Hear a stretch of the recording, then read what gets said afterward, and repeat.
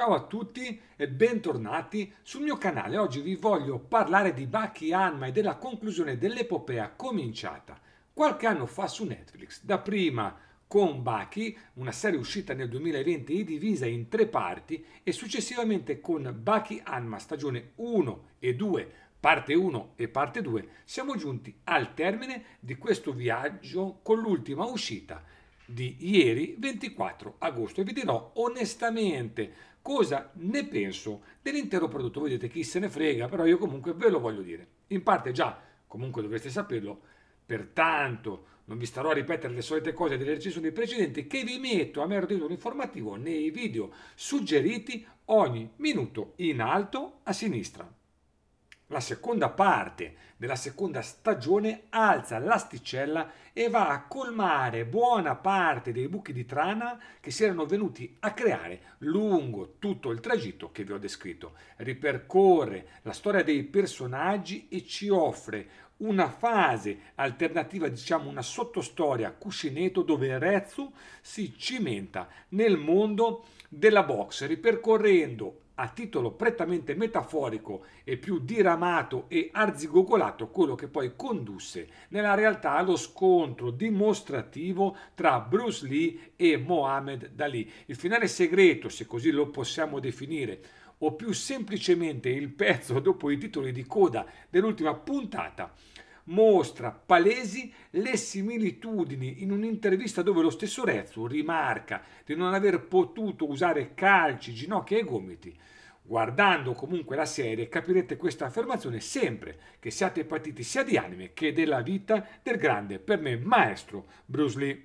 Quello che tutti si aspettavano, tuttavia il vero fulcro della storia è lo scontro tra l'uomo più potente del mondo, Yujiro Hanma, detto anche l'Ogre, e il figlio Baki, per stabilire una volta per tutte chi sia veramente l'essere più potente in assoluto scontro che avviene e non lascia delusi i telespettatori, anche se per onor del vero, poteva essere meno compassato e filosofico e più di combattimento puro. Questo ovviamente è il parere soggettivo di un fanatico di combattimento, ma oggettivamente bisogna ammettere che lo sconto offre delle tecniche eccelse e un'animazione che si innalza dalle serie precedenti o dalla parte precedente, sia dal punto di vista anatomico, sia per i disegni che mantengono sempre immutato la caratterizzazione a bordo nero spesso, ma diventano immensamente definiti sia nelle immagini posturali che in quelle anatomiche, senza, anatomiche, scusate, senza dis, disdegnare le espressioni facciali. Ovviamente rimangono comunque alcune piccole, piccole lacune tutto il comparto grafico si innalza a un livello decisamente superiore, non perfetto come vi ho già detto, ma indubbiamente di alto livello, anche se rimangono alcune ingenuità della computer grafica che cozzano con lo spettacolo complessivo. Lo si nota in prevalenza sui soldi che in una scena piovono dal cielo mentre Yujiro è seduto su un trono, scusate la metafora, proprio in una questa, questa immagine rievoca almeno a me il primo Conan il Barbaro con Schwarzenegger e un'altra nella metropolitana dove appunto il treno è fatto in computer grafica e infine nella maglietta rosa viola che vi mostro qua che indossa Bacchi e che a volte sembra un pugno in un occhio. Pregevole invece l'effetto sulle scale mobili. Come ho accennato in precedenza, l'ultima parte lega tutto ciò che prima sembrava slegato. Richiama i fuggitivi che nella serie Bacchi arrivano in cerca di gloria. Mostra nuovamente la compagna di Bacchi che molti dicono dove è andata a finire. Si rivede. Fa rivedere fra gli altri anche il figlio del grande Ari. Rappresenta un vero anello di congiunzione tra ciò che è stato e quello che ci accingiamo o vi accingerete a vedere perché io appunto l'ho già visto. Molte morali filosofiche passano nelle frasi pronunciate da Yujiro, dal non arrendersi mai ad essere padroni del proprio destino per arrivare alla povertà e il dover difendere i più deboli davanti alle incessanti avanzate commerciali dei più potenti, il tutto sia ben chiaro nel rispetto della natura e degli esseri viventi, dei quali nostro malgrado ci cibiamo. Vengono donate anche molte metafore del rapporto padre-figlio, del rapporto familiare, di quello che dovrebbe essere comunque un legame indissolubile che dovrebbe legare appunto tutti i membri del medesimo nucleo familiare. Quello che forse manca, ma solo, lo ribadisco, per i fanatici come me,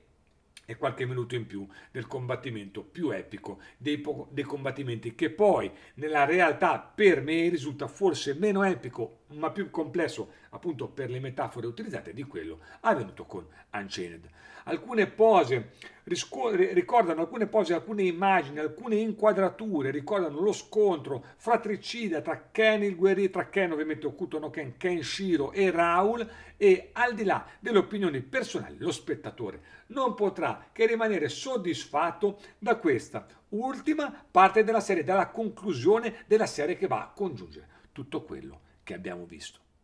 Chiaro è, e qui arriviamo alla conclusione di questa recensione, che chi non ha apprezzato ovviamente le parti precedenti non è che questa ultima parte gli andrà a rinnovare tutto quello che ha già visto, quello che ha già visto rimane, questa è semplicemente una conclusione che per me merita di essere guardata soprattutto per chi ha apprezzato i prodotti precedenti, con un voto complessivo a questo punto che era partito con un 6 per poi andare a un 6,5, si conclude con un 7 per tutto quello che vi ho già detto, oltre per me non può andare pur essendo un prodotto pregevole un, un, un, anime dedicato a chi apprezza comunque i combattimenti che esulano dai combattimenti classici ma vanno un po' nel paranormale con figure quasi mitologiche che esprimono una potenza che appartiene a superuomini, quasi a super saiyan, anziché a persone normali